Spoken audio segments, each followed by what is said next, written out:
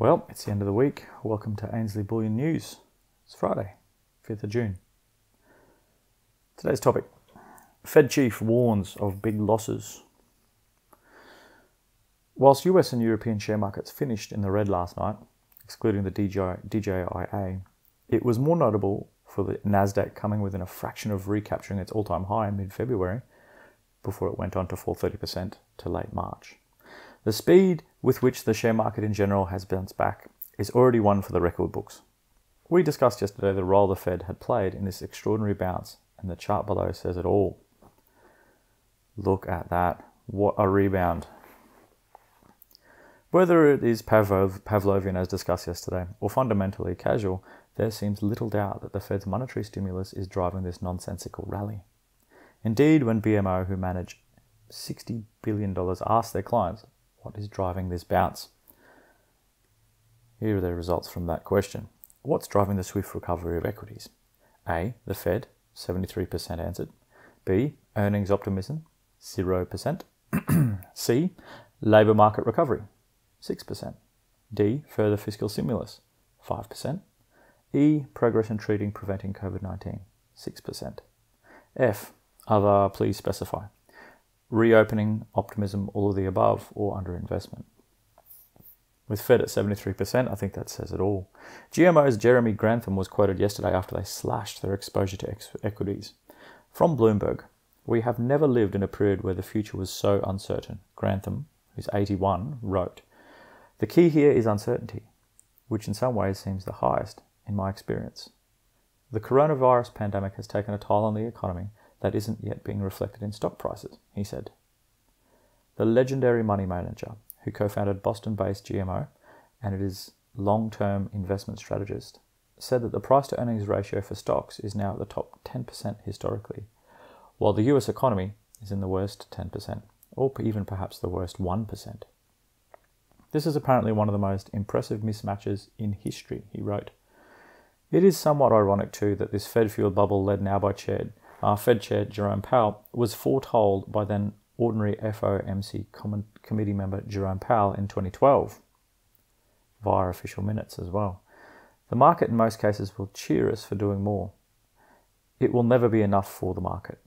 Our model will always tell us that we are helping the economy, and I will probably always feel that those benefits are overestimated and we will be able to tell ourselves that market function is not impaired and that inflation expectations are under control.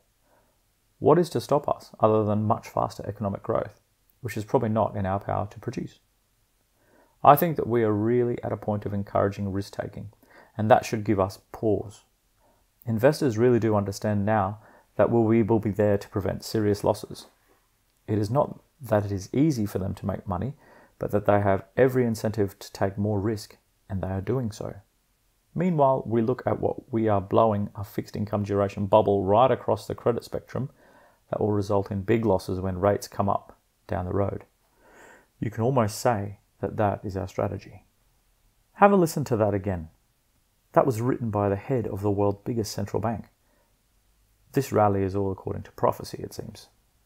Tonight you will see the May NFP employment figures for the US with expectations of 8 million job losses and a 19.5 unemployment figure, the worst since the Great Depression. Last night saw another 1.88 million jobless claims for the week ending 30th of May. Notable, notable for it being the first sub 2 million number since layoffs started in mid March. Continuing claims, the total number of Americans claiming unemployment benefits increased to 21.5 million Things may be improving since reopening, but they clearly are still bad. Senior Bloomberg economist Yelena Shulyatyeva says Stubbornly, elevated jobless claims are yet another statistic showing that labour market recovery will not be swift. The latest claims data coming back on the back of non-factoring ISM survey, which showed the employment subindex barely nudged in May from a record low in April, contradicting the signal from a better than expected ADP employment all great grounds for record high share valuations, right? Hmm.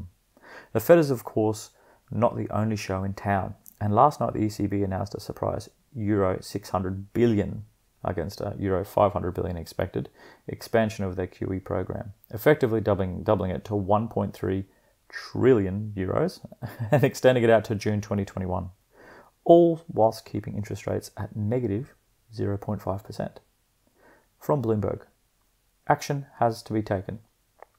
ECB chief Lagarde said in a press conference. While there are nascent signs of a downturn bottoming out, the improvement has so far been tepid.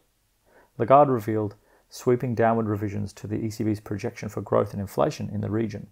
In 2020, the bloc will likely see a contraction of 8.7% before rebounding by 5.2% in 2021.